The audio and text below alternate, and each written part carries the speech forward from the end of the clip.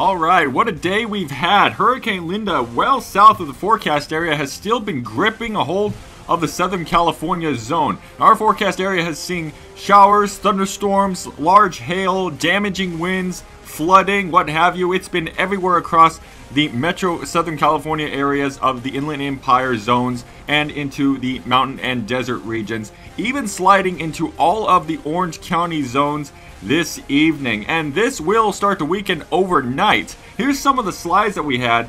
This shows the storm systems coming through the area. It is going through the Inland Empire, eventually into Orange County, and then weakening as it moves out to sea uh, this evening. We got an explosive amount of thunderstorms across the Riverside, San Diego, San Bernardino, Los Angeles, Kern, Ventura County mountain areas, and those have even brought some fires to the Tehachapi areas, and even on the eastern side of the Big Bear Lake area along Highway 38. This is the hail detection, and this shows, uh, basically it's a product here that shows the size of the hail we see in the storms. You can see all those blues and the light blues and purples, and that's basically some smaller hail in the purple areas, some good size hail in the blue. Light blue, that's when you're getting on to some quarter size hail out there, maybe even larger as we did have some severe thunderstorm warnings in the area. Now, I did issue a severe thunderstorm watch on the site for the Inland Empire, and that's exactly what went through. Uh, that was issued this morning, and we had it through the afternoon and evening hours, so that did verify.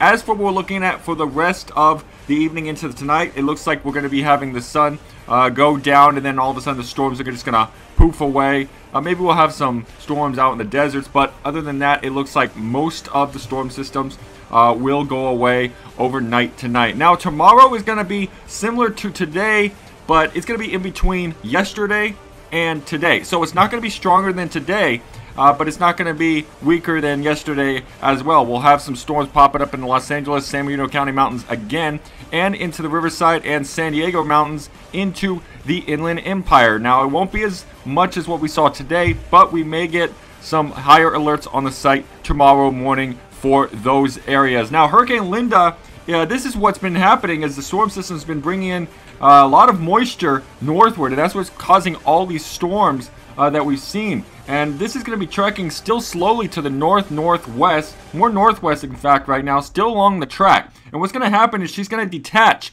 from the surface low, which is causing all the hurricane winds at the surface, and that's going to go to the west. Now the mid-level flow is going to be going to the north, and that's going to carry the upper level low of the system, joining in with another trough out of the western California area down into our area sometime either the end of the week or into the weekend. So, yes, this is going to be watched for enhancement of widespread shower and thunderstorm activity, and those chances will be valid through most of the weekend. Still kind of etchy on what we're going to have. The system is going to split. Her low level center is going to go to the west.